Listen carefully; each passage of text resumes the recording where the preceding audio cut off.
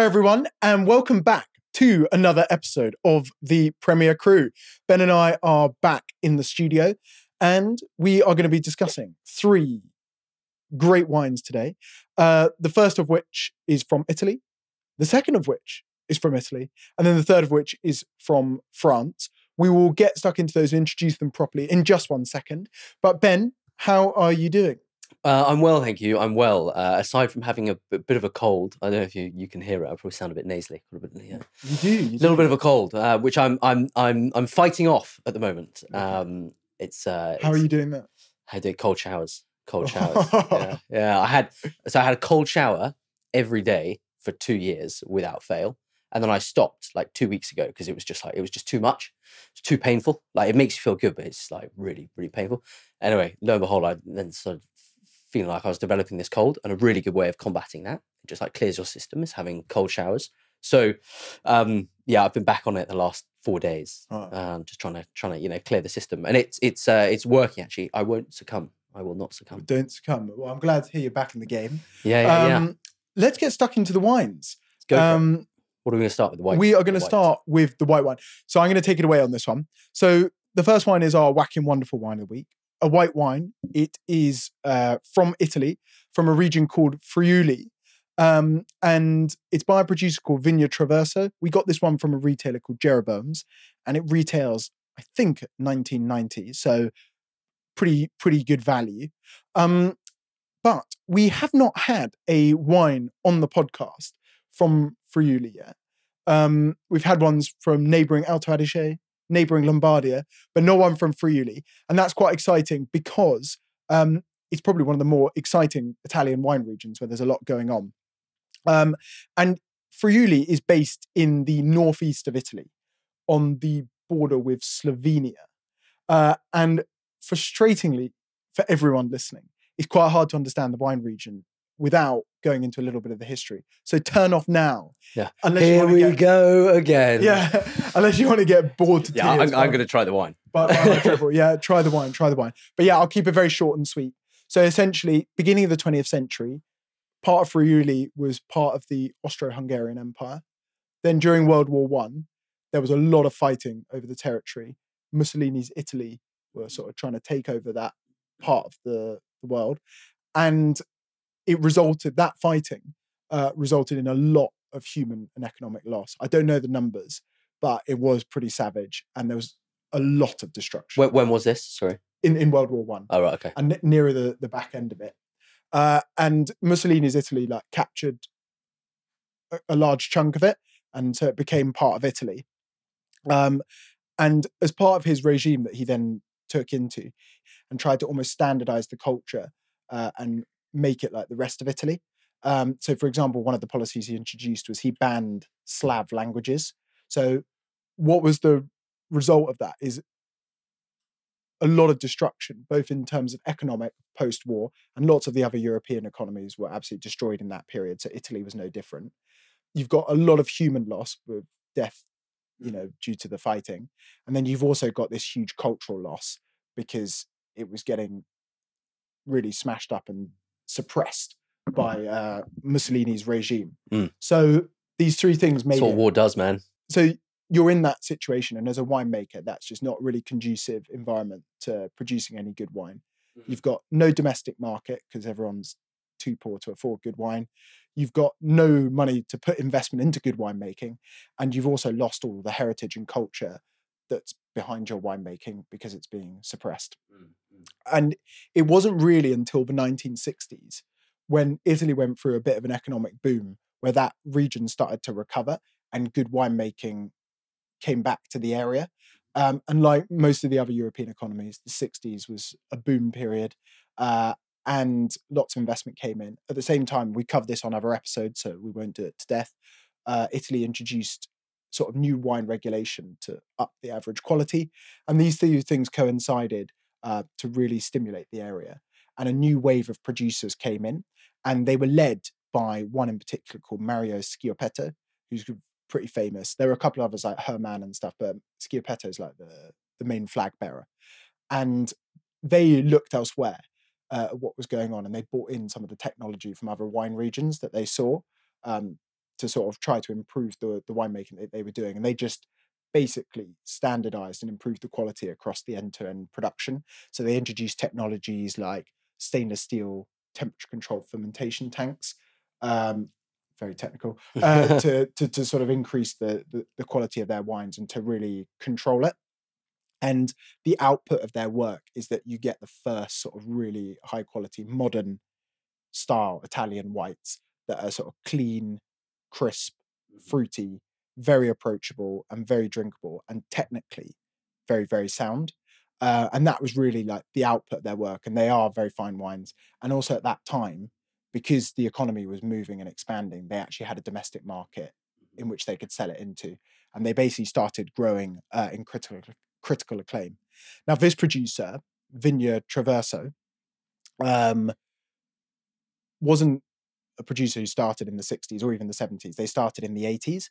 But I think the reason it's interesting is because if you want to get a sense as to what that sort of modern style Italian white tastes like, a lot of their winemaking technique uh, is very representative of the sort of style that Schiopetto introduced. So they use stainless steel. Mhm. uh, so fresh, classical, precise. Exactly. All these sorts Yeah. of things. They use stainless steel, no oak, all that sort of stuff. Um, so it's just a really, really good example. Um, but yeah, you've you've now had a little Mm. sip. What do you think of it? Uh, yeah, I really like this wine. Um, we tried it first a, a, a while back, which we'll get onto in a second. But I think it's good. It's it's it's as good as I remember, which is nice. It's um, it's I know we've just talked about being clean, precise, and classic, but actually on the nose to this wine, certainly there's a bit of richness, there's a bit of salinity, and there's you know a little bit of peach, a little bit of pear, that kind of profile. And on the palate, I think the thing that really stands out for me is the texture. I was expecting the wine to be.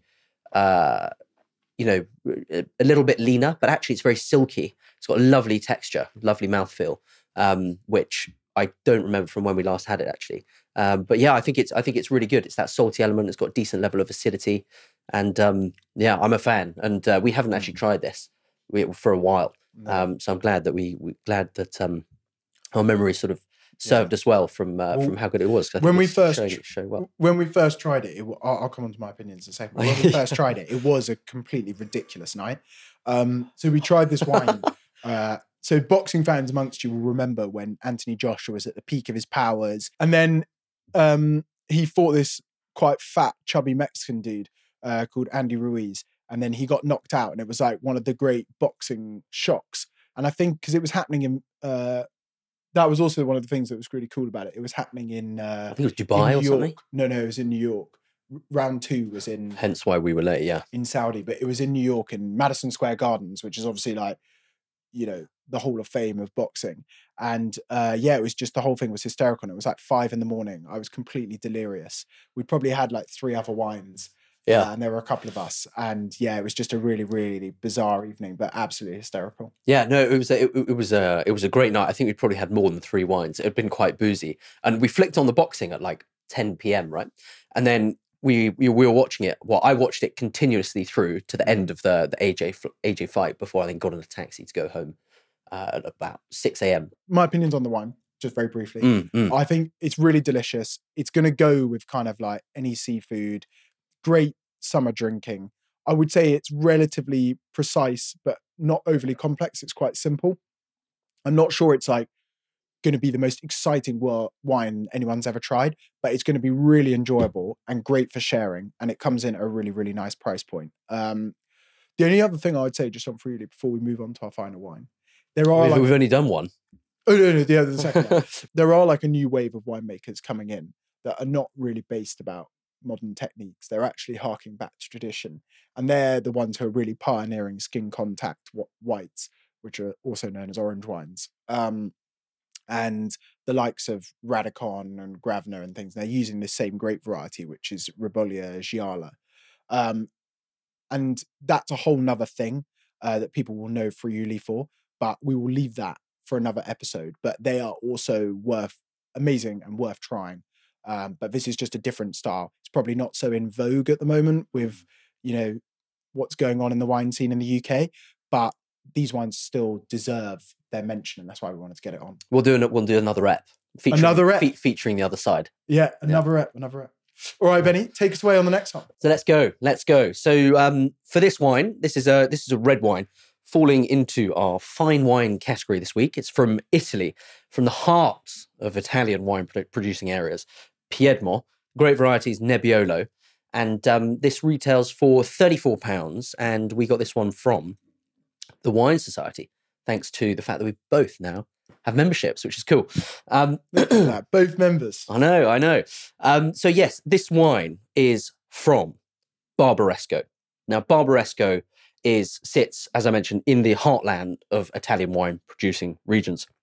It's a DOCG in Piedmont, in northwest Italy, and most people know of Barbaresco and Barolo. And just very, very quickly, because we, we we previously covered this, but Barbaresco, rightly or wrongly, is sort of known as the queen of wines and the little brother to Barolo when it's often compared to to Barolo. Barolo, um, you know, is known as the the king of wine and the wine of kings, producing typically stronger, more structured, more tannic, more acidic wines with a you know a greater longevity um, and wines that ultimately can be quite uh, difficult to drink in their youth because they're they're just pretty they're pretty powerful. They're pretty powerful.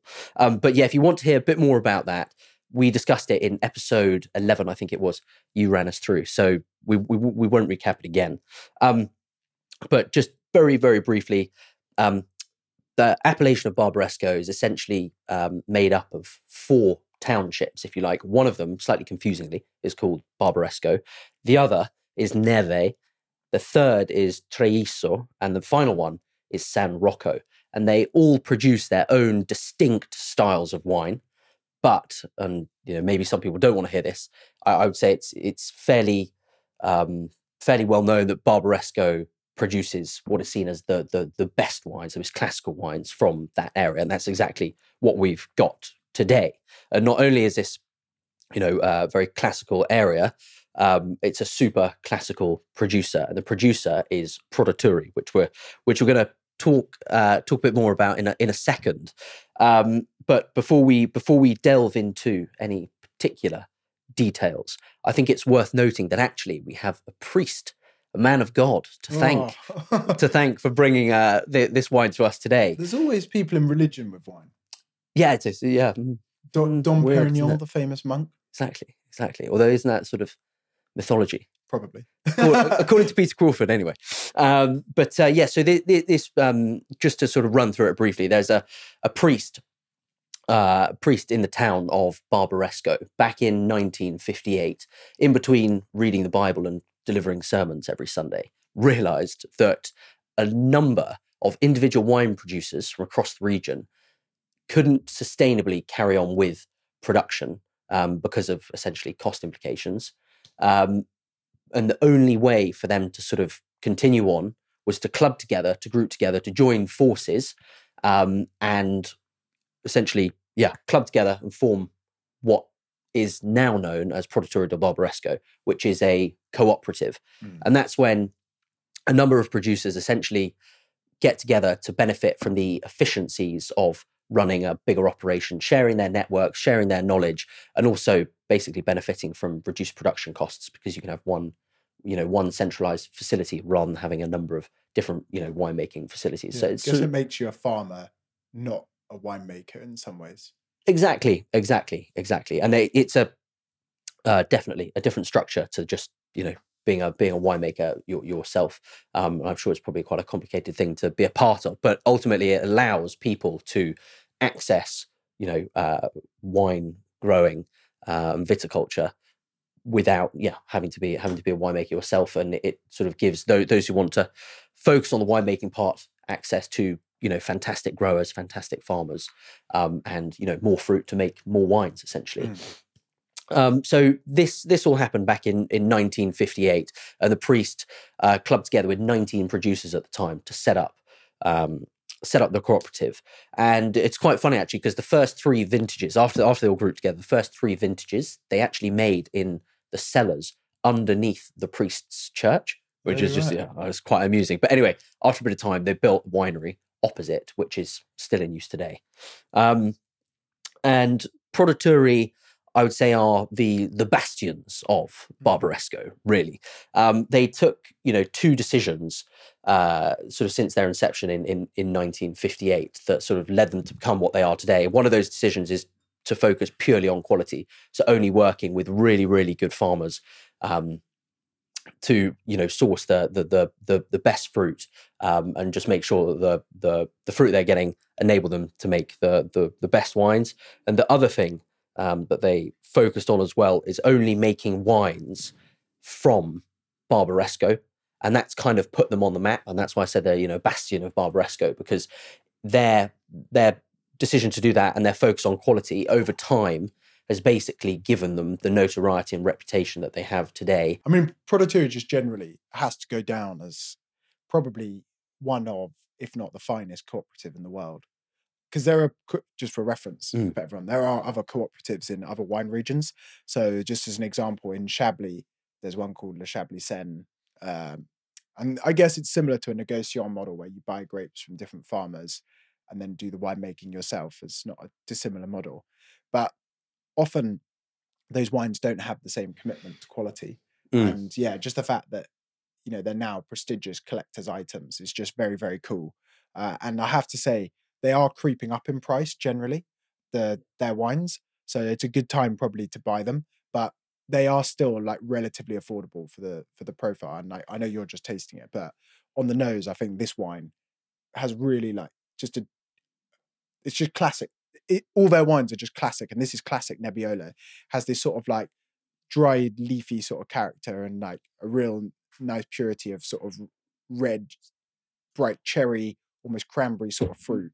And then on the palate, uh, the front palate is actually so generous, and you really get that fruit coming through. But then, in sort of classic Nebbiolo style, this is 2019. The back burners or the back palate the tannin and the acid is just so strong that it is just an absolute powerhouse uh, of a finish and, and and the way it makes your mouth sort of pucker. But what I would say is that if you're patient and you're willing to put sort of 10 years on this, this is a sort of wine I just, if you can afford it, snap up uh, as often as you can Mm. because it's just always, they never make bad wine and it's always going to reward your patience. Uh, and it's the sort of thing you'd want, you know, a little case of at some stage in your life, hopefully with a bit of bottle age, when it's just really, really singing. Tucked away for a future Friday night with a little steak fritin. yeah, you got, Yeah. you're getting an insight into Ben. Yeah, yeah, exactly, exactly. the glutton. Uh, the glutton. Thank you, Hugo. Thank you for that. Um, but uh, but yeah, I think that that that sort of um, that rounds it off. Oh yeah, the let's, final one. Let's move on to our, our final wine for today's episode. So, this is uh, our good value wine. It's a red wine from France. It's from the Rhone. It's from the southern Rhone. It's uh, predominantly a Grenache and Syrah blend. And um, it's available from Tanner's Wine Merchant. And uh, we picked this up for £13.50. So, it really is um, a very affordable bottle of wine. Um, and before we before we get into um, uh, the Tanner's own label stuff, which we're talking about, I'll just do a very quick recap of the Rhone. We've covered the Rhone uh, a couple of times, but just um, just a quick overview. The Rhone is based in southern, sort of southeastern France. It's France's second largest appellation behind Bordeaux. They've been producing wine there for well over two thousand years. 27 permitted grape varieties, and there's 5,000 producers who are based down there. So there's a lot going on. But as a general rule of thumb, keep it super simple.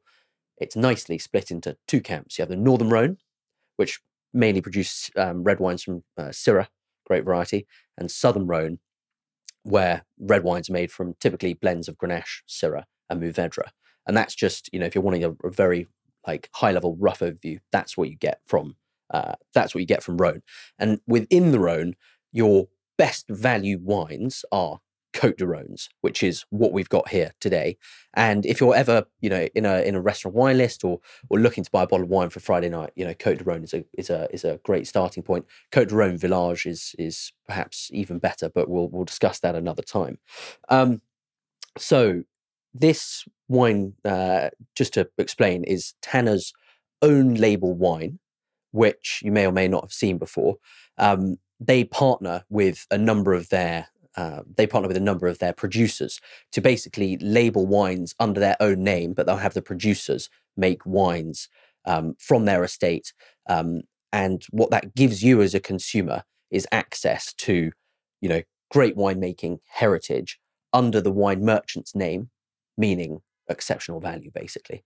Um, and you know, from a from a really good wine merchant like Tanner's, who work with um, you know huge range of um, you know fantastic uh, fantastic growers, you know that if it's got their stamp on it, their seal of approval, you're not going to go too far wrong when you're buying. Mm. And uh, it's not only you know they've got uh, Tanners have got a massive range of own label wines, and they also do spirits and they do sherry as well and port and um, and all that kind of thing. So as a consumer, if you're looking for something, um, you know, try a, a, particular wine that's typically representative of the, the the the regional, the appellation of where it's from, but for a very approachable price point, it's worth it's worth seeking out.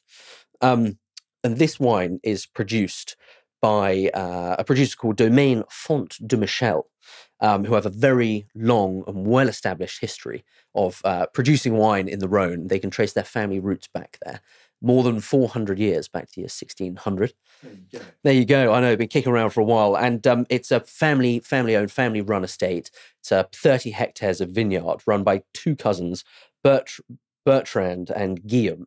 And their education in winemaking stems from working at none other than Leflaive down in Puligny, which um, is on paper about as big and as serious as it gets, really. Um, and they, they've they've been going for they've been now at the helm since the early 2000s, so well over 20 years. And since taking over, their philosophy in the vineyard has really been focused on um, care for the environment, focus on soil quality, and they haven't used any fertilizers or herbicides or um, or artificial herbicides or pesticides for over 20 years. Are they certified organic? They are. Ooh. They are certified organic. Yeah, exactly. Um, as of, I'm not sure as of when, but I think when they took it over, they realised that that was the you know that was the that was the way to go. And um, their focus is also very much on on quality. All ploughing that they do in the in the vineyards is done manually. Um, all harvesting is done by hand for everything from their Cote de Rhones all the way up to their Chateauneuf du Pape. Um, and the other cool thing about them is that they've got really, really old vines ranging from 50 to 110 years old, which as we've discussed before, you know, give the wine more structure and more depth, a bit more character. And um, you know, 50, 50 years as your as your youngest vine is uh, quite a cool thing. also, um, Grenache vines mm. are quite scrubby looking. They like they're not like a classic vine that you'd see on your sort of laptop screensaver. They sort of just pop out and they're very stubby and sort of scraggly and ragged. And uh, it's just quite funny because a 50 year old Grenache vine is going to be particularly sort of scrubby and well imagine what 100, imagine what a 110 year old vine looks like. Yeah. Um, yeah so that's uh that's um pretty cool. But it's um yeah this we we were at a tanner's tasting um a few months back and we had well, probably 50 wines that night. And this was a real standout for us um, and when we were thinking of what to put in the good value category um, we thought it would just it would fit the bill perfectly. And it's nice to show an example of you know a wine merchant's own label range that um, you know really hits home. You're just not going wrong with yeah. this you know this type of wine on a Friday night. It is Southern Rhone, um, and it is uh, you know Grenache and Syrah blend. So you know it is quite you know fruity and it's quite big, but actually it's got enough acidity in the wine to to really lift it through. Probably want to drink this with some food rather than you know by itself, but it's a be a really good you know Friday night value. So, uh, you know, value bottle. So, um, do have a look. For those that aren't uh, based in the West Country and over in Shrewsbury, where Tanners are, you can uh, you can purchase it uh, online. Yeah, I think my perception, just having tried it again, uh, is that one of the things that can be sometimes to Grenache's fault is that if it's hot and the winemaking is not careful and the viticulture is not careful, it can become quite sticky and jammy. But what's really great is that, especially for the price point that this is playing at, actually it's not sticky and jammy at all. It's got a good amount of freshness and acidity, um, but it's still got those like classic sort of gamey, um, sort of uh, almost like cherry spiced mm. fruit, slightly leathery as well. You know, obviously we really like tanners, and that's why we wanted to showcase this one. And we like this specific wine. But there are also, if you know, you should check out if you think if you shop at a wine merchant that's also really good they're likely to have also their own range. So we'd advise sort of dipping into that as well and trying what they've got on offer. It's not always the most sexy thing because sometimes you want to be that person who's found the new producer or the new kid on the block who's doing something interesting. And there's something fun about sort of being the first mover and being able to show that to your friends or whatever it is. But actually, if you want something that's just you know is going to be reliable and really tasty, uh, then these are a great option. Mm, yeah, yeah, agreed. Well, I think that probably we've rattled through today, but um, yeah, that probably takes us to the end of the episode. It does indeed. It does indeed. So all that's left to say is thank you to everyone for tuning in. Your uh, your support is much appreciated. Listening to Hugo and I drivel on week after week. uh, so we uh, We don't drivel them. We, we we don't drivel. We don't drivel. yeah. Very well articulated, Hugo. yeah. Um, yeah, so thank you, thank you very much for your support. It's much appreciated. Um, if you want to get hold of any of the wine today or check out any of the merchants that we've mentioned, we'll put a link to the uh, link to their website and the wines in the in the uh, description of wherever you're listening and watching this. And um, final thing to say is that Hugo and I, as usual, will be back next week for another episode with a guest. Um, yes. But in the meantime, thank you very much, and we'll see you then.